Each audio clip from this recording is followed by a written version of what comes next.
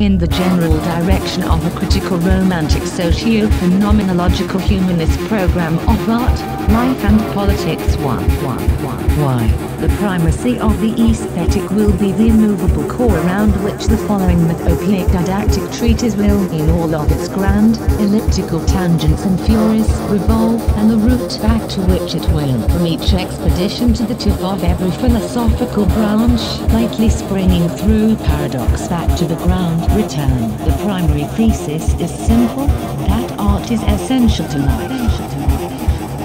Such a simple idea, so obvious, almost tautology, that the appreciation and the creation of art are primary human activities, not means to ends, not byproducts, which by their very nature improve and enrich human life by making it something more than sleep feeding and reproduction, ought to be uncontroversial, but nay, it is radical. Many will disagree, especially in the humanities where the notion of humanism is long in anathema, where human nature is taken to be a slogan of fascists. The notion that something, especially art, is of positive value does indeed invite the justified cries of essentialists but we make no attempt to evade, as our primary thesis rests on a second, heuristic conviction, which will be pursued unrelentingly in every branch of thought we encounter, the opposition between the essential and the constructed is a nonsensical distinction, false dichotomy, refusing all such arbitrary and false oppositions between the individual and the collective life, between the existence of stable structures and discontinuity, between the subjective phenomenological world of the psyche and the objective material space of historical praxis, between the stable recurrence of phylogenetic structures and the infinite variation and anomaly in phenotypic expressions surrounding these constants, and conversely between the phylogenetic construction of difference and the phenotypic striving for unity. This paper will, by these deconstructive polemics, advance our program of aesthetic interpretation which is both structuralist, unrepentantly Jungian, deeply and essentially subjectivist, and in equal measure iconoclastically critical, seeking the way to the universal through its anomalies. While this may be expressed in the rhetoric of dialectics, it is to be understood that the universal structures do not in any sense simply unfold in historical process, taking the rational and the emotional life of the subject as the primary point of dialectical reference,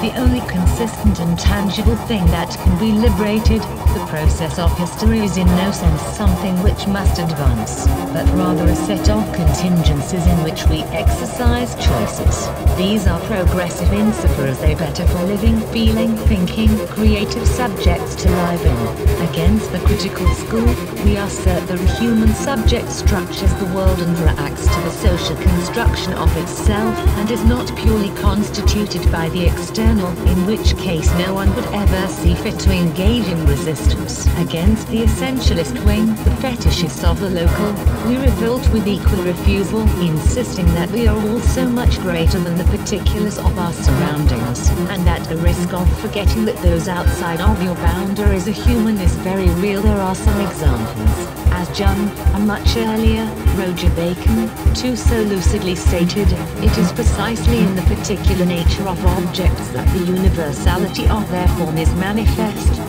That is they are not a chattel of some platonic eidolon, but rather a given their form by their shared characteristics. Having asserted the beautiful's right to innately exist, we take up arms against all of the uses to which it is put, against the countless tyrannies which have made it their drudge, against the politicization of art, and with equal vehemence, against the aestheticization of the political, in pursuit of a world in which the aesthetic will be free, as the free occupation of free human beings. The fullest expression of humankind's casting away of the yoke of hierarchy, of alienation, of nation and state, of all distinctions which make of us anything but our greatest selves. It is thus by unapologetic and zealous polemics, making no pretense of being analytically neutral, cosmopolitan standard of human potential into the struggle that ends only when absolute liberation lifts from humanity's countenance the veil of estrangement, revealing as one the singular, local, and universal, inextricably intertwined, but autonomous aspects of one human world, united in free self-creation, that we advance this modest thesis that the unrepentant celebration of creative life as essential, as archetypal, is not only compatible with, but complementary, nay, essential to the critical radical project of dismantling, exposing, denouncing and of destroying everything which arbitrarily limits our human potential. This consists in destroying much which has impersonated the beautiful human potential which we wish to elevate. As Benjamin has made clear, the aesthetic has never been neutral, having been made the scion of exoteric religion, the veil of fascism and the cudgel of Stalinist mythos. It is as much an atrocity to refuse and renounce the beautiful for the uses that have been made of it, as it is to renounce food because the rich have so much of it. There could be no philosophy of liberation more inherently bourgeois than that. We will contend, against all prescriptions and prohibitions, against the demand that art be conservative, or in turn radical, against the notion that art is alone a means to liberation, and by all means against the notion that art is bourgeois, that art, as the freest and fullest expression of the human being, of the eudaimonic fullness of the individual, of the effective bonds of the groups these individuals constitute, and the ultimate bond of mutual appreciation, by which human beings across gaping chasms of geography, language, custom and bitter resentments over the always gushing wounds of history's carnage, are finally free to experience, in its immense variation, the most basic creative act that makes us all human. human, human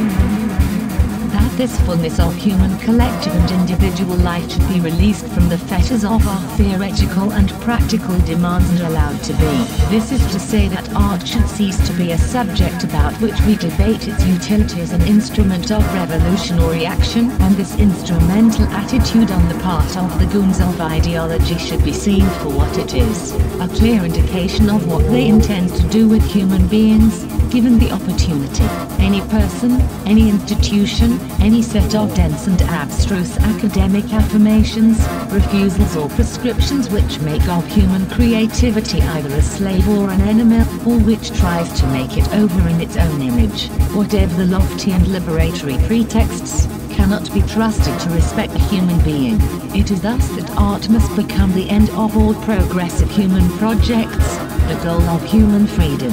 Thus the goal of this paper will be unified program of art, life, politics and metaphysics.